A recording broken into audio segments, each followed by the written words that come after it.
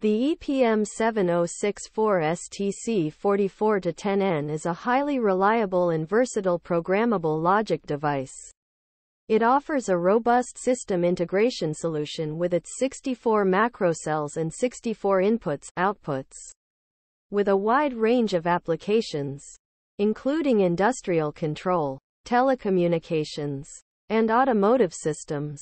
It provides efficient and flexible functionality,